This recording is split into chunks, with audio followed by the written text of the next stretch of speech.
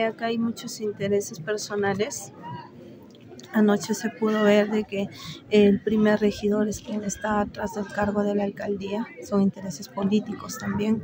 Ahorita se está denunciando el que cómo ha podido exalvar no es la, toda la población, es mucho menos del 50% de la población, pero les ha metido ideas los cuales no son, los cuales nosotros tenemos constancia en libro de acta y se está denunciando el que no nos permiten el ingreso, no, no nos permiten el, el regidor ingreso. Rubén Aniceto Fajardo. Sí, eh, ¿no? Entonces no nos permiten el ingreso a nuestra área de labores, ya que tenemos un esto, tenemos Lurawi ahorita en procedimiento, no nos permiten el ingreso ni nada por el estilo, pero nosotros lejos de exalvar y luego lejos de querer ingresar a la fuerza, nos mantenemos a un costado esperando, ya que como usted puede ver la municipalidad está prácticamente tomada. Anoche ingresaron eh, personas que no laboran en la institución, esto, en la municipalidad, disculpe, estoy nerviosa, no laboran, han ingresado de a la, la audiencia. fuerza, después, cuando ya ha terminado toda la audiencia, el señor, esto,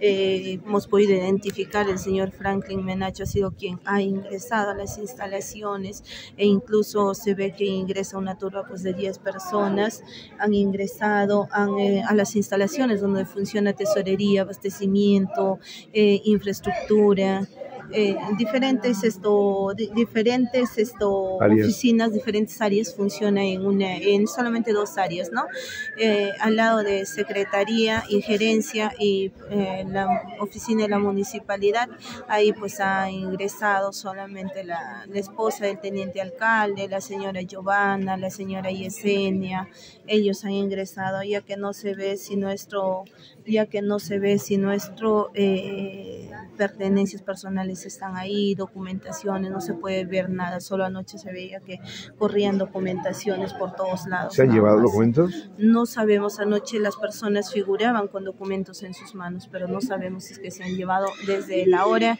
que se cerró la puerta hasta ahorita no hemos podido ingresar, no hemos podido verificar nuestras pertenencias personales ni nada. por el ¿Se, se tiene conocimiento que en el área de tesorería se han llevado dinero? En el área de tesorería hay un dinero recaudado de la luz, pero no, no podemos saber si es que está ahí o no está hasta el momento. De más o menos qué cifra se habla. Ah, un poco más de 3 mil soles es lo que recaudamos de la luz. ¿Qué le ha dicho la fiscal? Eh, que va a levantar el acta, se está pidiendo, se está esperando apoyo policial del distrito de La Pampa, pero eh, es la poca información que tenemos. O sea, ustedes hasta el momento no pueden ingresar. No, no podemos ingresar. ¿Qué temen?